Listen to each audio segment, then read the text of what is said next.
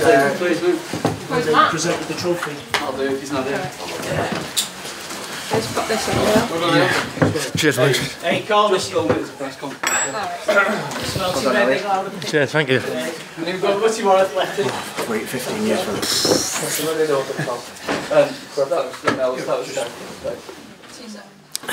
The old spoon. Everybody ready? Yeah. By the way. How was that for you? Incredible, incredible. Um, yeah, it's been a it's been a tough season, tough year. All uh, all due respect to Notts County is an incredible team, and they pushed us the whole way. And to just just to have the season we've had, breaking records along the way, and with this group, this club, it's it's a special club, it's a special group, and uh, just delighted, relief, delighted, just just an incredible feeling. Can you remember the emotions at the final whistle? It's hard because you, you you're watching the clock go down. You're like, just don't concede because if it goes three two, then everyone gets nervy. And then I just like when the final whistle goes, it's just all that hard work. I mean, for me, I've moved away with my family, moved my partner away from my family, and all of her family, all of her friends. And at the first, I got surrounded by all the fans, and it was absolutely brilliant. And then I got to my family, and I couldn't stop. Like the tears were coming down my eyes, and just it's just the best feeling ever. Just like all your hard work's paid off, and and the success that you sacrifice things for as a footballer is it just all comes to fruition, and it's just the best feeling in the world. Not the best of starts, but then the fans to... Yeah, it wouldn't be Wrexham, I don't think. I think that, that was all through the documentary. We have to make a show of it, don't we? So, yeah, the lads, uh, lads, not happy with the start. It wasn't, um, wasn't the best, like you say. But we always know we were going to score here. We're, we're a real force, especially attacking our fans. And then in the second half, we, we, we, we just knew we had to be patient. We had to grind them down, and, and that's what we did. And and I'm just full credit to the lads, the staff, like the gaffer and, and Parky, just incredible. And they've kept us on our feet all season. Never get too high, never get too low. And uh, it's just it's just amazing. It's just an amazing feeling. What's it like playing in front of a crowd like that? incredible. They've been like that all season, um, and the atmosphere today was just unbelievable. Um, it really does. Like I said, like especially normally we attack that end in the second half uh, to all our fans, and the ball just gets sucked in. And I think after they scored today, that's what happened with my goal. And then in the second half, Mo's two excellent finishes. That's what he does. Um, it's just it's just unbelievable the, the support we get for a national league side, which we're not anymore, which is fantastic. But um, just just unbelievable. It's an unbelievable club. It's an unbelievable town, and just just a special special place. And next season, after 15 years, back in the Football League, will that be like? It's brilliant. It's brilliant. It's, I've been here a year and I can tell how much it means to everyone. And for them being 15 years, um, I'm just happy we could get over the line and, and this group of players could could do it for everyone here. And um, yeah, it's just this is. I think that everyone knows that we, we just had to get out of this league. It's so tough getting out of this league. Um, it's the toughest season I've had. Um, but yeah, it's just this is. I'm hoping this is. I think everyone's hoping this is just the start for this club, and, and, and the only way is up really. Nice medal. Great medal. Yeah, it was a bit of a gamble when you came down to National League level. Um, does this justify it? Yeah, I mean that's why it's, it's a risk paid off well. Um, it was a risk for me to drop down from Championship League One to to the National League, but it was a risk I wanted to take when Wrexham came calling, and I knew the ambition, and, and I'm quite happy now because a lot of people would say to friends of mine or tweet me and say I'll come here for, for, for the wrong reasons, and I've thrown away stuff when I could have played higher up, but I'm hoping this, like you said, justifies that because it's. I don't think I think people are starting to realise now how special the club is after being on TV at Notts County. They see the place and the documentary, obviously, and, and again today you see how special the club is, how special the town is, how special the fans are, and um, yeah, definitely, definitely justified. Probably the best decision of my life coming here. So where you've gone, your, your career's kind of hit a brick wall, mainly through injuries, it has to be said.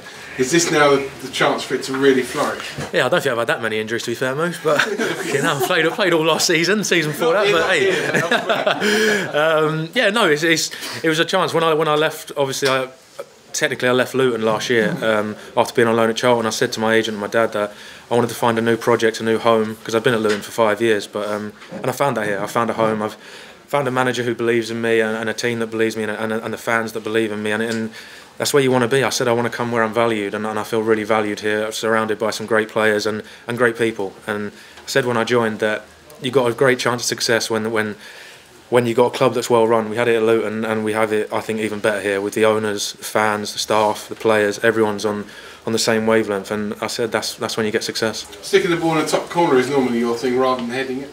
Yeah, I think I got up like a salmon at the back stick today. But um, no, I'm not known for my heading. But I said to said to Barney in the week, he is so good at, at beating his man and just getting across. And he stands up to the back stick. And I was sitting with him and Moles in the week, and I said, whenever he gets the ball, me and Moles just head for the back stick. And he, we did that today, and, and I was free, and I, and I was um, grateful to head it in. And to get the comeback on the way. Finally, it's been something for you and someone else you're very close to, George Moncur, who today they the champions at Leyton Orient, you're champions today at Wrexham. Um, I know you've known each other since you were kids at West Ham. Um, kind of all fits together really well. What's happened this week? Yeah, it's brilliant. It's brilliant to see Monks doing that. Like you said, I've known him since I was about 12 years old, I think, and one of the best people I've met in football. And, and to see him flourishing at Leyton Orient, I'm so happy for him and so proud of him. And uh, I'm just so grateful that we could do it today for, for our club. And yeah, it's just a, a big relief, and, I, and I'm happy with really. I'm really happy we've done it. Great to do it here at the racecourse as well. Yeah, fantastic. I think that's what everyone wanted. Um, we didn't want it really going down to Torquay away. Um, it's never nice taking something down to the last game of the season, but to get it done here is um, it's just an unbelievable feeling. Yeah.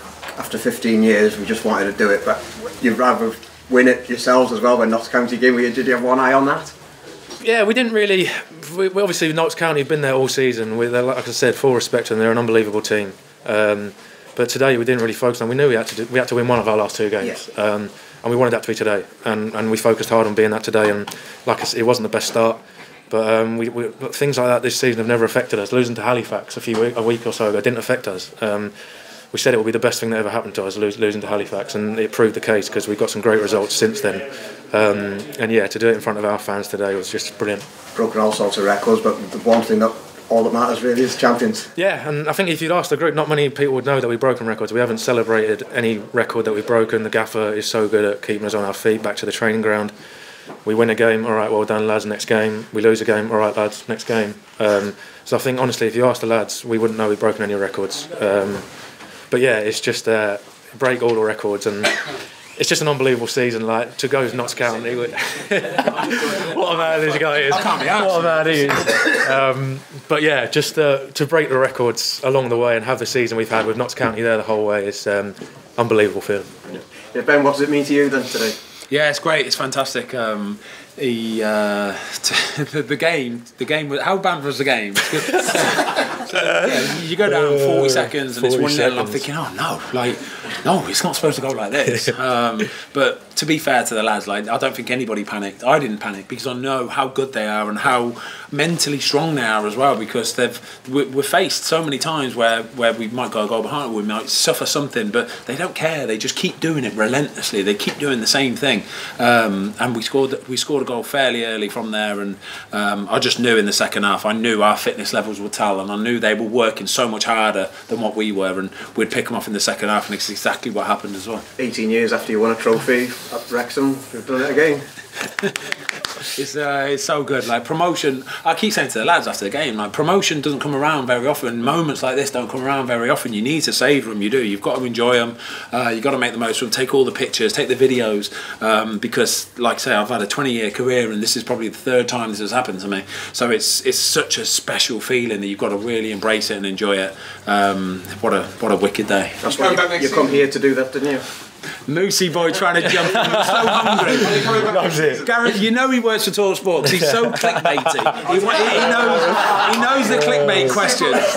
Anything that's got a clickbait answer to it, Moosey Boy will answer it. Um, I haven't got a clue yet, mate. I really don't know. I really don't know. It's nice to be a man of like leisure and freedom and stuff like that. And I, I've really enjoyed my um, my retirement. I did. I had a great time. But um, We tried to suck you in the other day in the car, didn't we? yeah, everybody. We're getting in you his head, you're telling him to this, stay. Fozzie, what are you doing? What are you doing? I don't know. I want to see it. Um, I, I, what I will say is I've enjoyed this so so much. This is a special club. This is Wrexham is a really special club. Um, everybody that plays for it can see it, and you, you, it's it's not like like you know if you're if you live in Wrexham, you're a Wrexham fan. You are. It's as simple as that. And they've got such a catchment area where everybody's so diehard. and It means so much to them, and everybody lives for the weekend.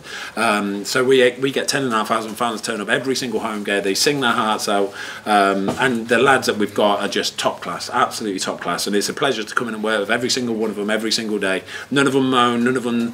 Like there's no big times. How, there's no big times. Is None there? of them, There's no. no big times, and there are in football. There's so many big times, and there's none of them in our dressing room.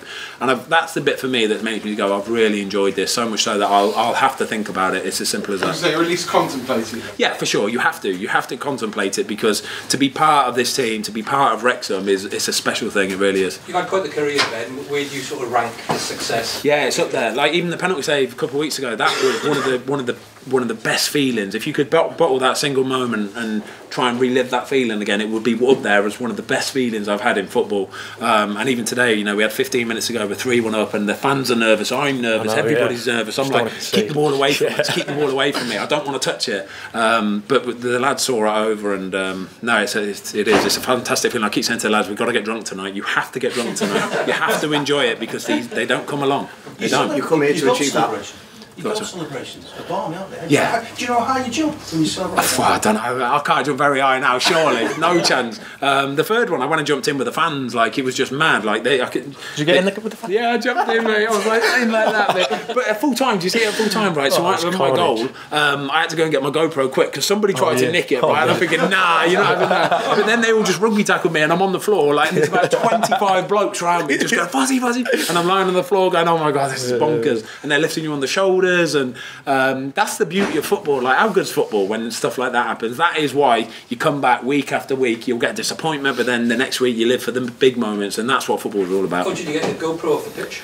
The what? Sorry. How did you get it off the pitch? Oh, I'm clinging on with dear life is what I was doing. I was clinging on with dear life. But, um, everybody's trying to grab it, and everybody was like turning it, going screaming into it and stuff like that. But um, you, you, it is such a such a special feat. You see how much it means to everybody. You know, everybody was on the pitch within seconds. You knew it was going to happen as well. You come with eight games to go, so you've achieved what you wanted to with a game to go as well. Yeah, for uh, sure. if, if we'd have gone into that Torquay game, oh Would have been God, that that. would have been a brutal one. Would have been I think I think people tonight thought this was a foregone conclusion. Yeah, I think people think that we turn up for every home game and it's just oh Wrexham will win. They're at home.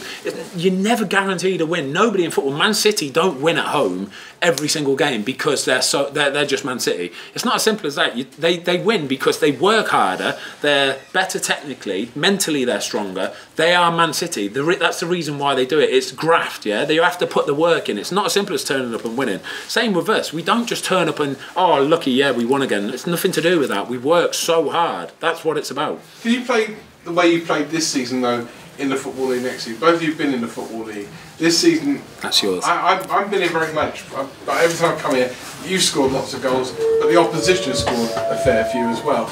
Can you play that kind of really? Yeah, I don't see why not. Um, I don't. There's not a massive difference between this league and, and the league above. Um, if anything, it's pro- Foster, Foster. Jersey now. This is his jersey. Yeah. This stinks, by the way. Honestly, this absolutely stinks. Are you, are you wearing an undershirt? yeah. Give me your jersey. Can't say no to the owner, can I? Are you putting that on eBay, Ryan, or what's going on? Listen, I work in show business. We fall on hard times.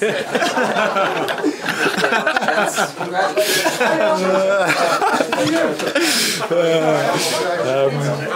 He texted me for that earlier. He did. He texted. Me. He's so hungry for the shirt. Like he's, he's going, make sure you don't throw that into the crowd. Right, I need that. What's it like with these two, with these Americans? They like? They're, they're brilliant. They, they are. They love it. They absolutely love it. Canadian, yeah, he's Canadian, yeah. They love it. They do. They're they're they're they're in. They're fully in. I mean, fully in. Like they're they're like the one of the boys at times. They won't come in shouting and raving. They come in and they celebrate and they get behind the lads because they understand that you're not always going to win. You're not always going to play ten out of ten. You're not you're not going to smash teams out of the park. They understand that sport is a game where the opposition want to win just as much as you do, and that's the beauty of what they do. They don't always expect instant results. You know, they've been here two years now. Last year was a big disappointment. This year, when you've got a Notts County who are breaking records just as much as we're breaking records, yeah, it's ridiculous. Yeah, that is this is this is one of the hardest leagues to get in- out of in the world. It really is. It genuinely is. Um, and they need to have a look at it because it's not fair for Notts County. It really isn't. Um, but this is this is the big one I think for them guys because to get out of this league, like I say, is so tough. But then from now on, hopefully we can flourish and keep climbing the league. But you know what promotion is because you're born and you know what promotion is from when you're a kid. I think by their own admission, when they arrived, they didn't have no idea what even promotion was. It's mad, isn't it? I, imagine playing like in a league where you don't know. I know, yeah, I think that, that's why they love it so much. Like people don't realise. They think they see two guys, that are famous guys that have just bought a club. But I think just recently, I think they're starting to see how much they actually love it. And they'll text us after games like, all the time and Buzzing and- just buzzing, yeah. yeah. And they're always behind the lads. Even lads. if They we always- lose, it's like yeah. don't worry about it. Next and they're always there for the next lads, no matter what you need. They're there for the lads, and it's when you got owners like that, it just filters through the club. It's unbelievable. Lads, who's, who's got the best song out of YouTube, by the way? You need a little more relaxed. I haven't even heard the Elliot song. What's the Elliot song? It's, it's the status quo one, isn't it? Oh, Nah, freezing, mine's miles better. This is Yeah, I'll probably give Fozzie to Would you be agree with No, that? to be fair, I'll start singing Fozzie's during the game as well, so his is probably do I. better than mine. So do yeah. I. But I will say, he's been absolutely incredible since he walked through the door, Fozzie. Um, not trying to lick her ass or anything, mate, but he's been incredible. He could have come in and just thought it was National League club, but he's been incredible every day. The energy he brings, the stuff he says in the change room, and obviously his performances, bro. Fair play to him because he's been amazing for the last. Oh, it's been a pleasure, mate. Amazing. Honestly, I've been Just buzzed ask of you, you were talking about Paul the other week, um, Paul the other Yeah. week. You were sort of talking about how you know, if someone mistimes a pass or doesn't play the pass he's intended to play, he's cool about it. Could you just give us a bit of insight into sort of how he operates? You know, like what's he like as a, as a, as a colleague? As a, I don't. I don't think he pays much attention to anything. Honestly, I don't. He don't. He don't get carried away with football, the, the, the media. get a shout. He just goes out on a Saturday, on a Saturday or whatever, and just does it. He loves it. Honestly, he absolutely loves it. Moves it. How good's Moves? Like, class. Strikers, don't they? Yeah, you're a defender. You know, because the defenders and goalies are probably the good ones of the team. Their midfielders are right, but the goal, the goalies and defenders are normally the chill ones. Yeah, and have a nice time. Strikers have got egos, right? And he hasn't got an ego. He's got nothing about him like that. He just does his job and he goes about it like it's the most natural thing in the world. He's such a good lad, down to earth. He works hard. He's part of the team. They're the sort of players that you want. And tonight, I think tonight showed the difference between what we've got and what some other teams have got. Where We've got a Paul Mullin who, at certain moments, he'll pull one out of the bag. He'll score you two goals from nowhere, where it's like, wow, that's incredible. The first one with his right, second one with his left. Match-winning goals. It's as simple as that. There were generations out there who have been so, so much disappointment over the years, and there were teenagers and young children just they're in amazement at what's happened. What's your message to these young children who are starting on a new chapter? that's what just it makes it all worth it because we know as a team. Obviously, I said I've only been here a year, but I can feel how much pain there's been here and how much people have suffered because it's such a big club and it doesn't belong anywhere near this league. Um, so we want to do it for people like that. We want to do it for the, the older generation who's, who's been through the suffering, and then the new generation want to inspire them and that's what the I think the owners have brought. They've just brought a whole community together, and the the, the place or like the feeling around the place and the club in the town is it's just incredible. And I think that's what it was for the lads, just to to eventually, obviously, having the lads coming so close last year and to actually get over the line this year, especially how hard it's been with Notts County there, it's just uh, it's an incredible feeling, and, and we're so happy to do it for people like that. Yeah. We have a Welsh language song for Wrexham, especially I fewn i'r goal it's called, which means into the goal. You managed that, thank goodness. Um, how, how do you, um, do you, how do you see the Welsh language and, and Wrexham? Okay, um, can you tell me how you pronounce? Um, gw Gwasanathau, services. Oh, services. Yeah. I see it every day. I wonder if you could say, i fewn i'r gol. I fewn i gor. I fewn yeah? i it means into the goal. I fewn i gôr. Gol. I fewn i gôr. How do you, how do you say gwasanathau? That's easy. Is it gwasanathau? A diolch yn fawr iawn. That's not, that's not, that's not how you say it. Gwasanaethau is what you have to. Gwasanaethau. Gwasanaethau, there you go, yeah. This is Also, I think Ben's a Welsh speaker on the quiet. I heard you saying it properly then as well. Yeah, yeah. Go on. a raff, a raff. All I know is Iechyd Da, that's all I want. Cheers. Cheers, let's get me a beer. Yeah. Yeah. We done. Cheers, chat. Cheers. Cheers. Yeah. A lot of social chances coming down. The what? You in next? No, I'm done. That's it, done.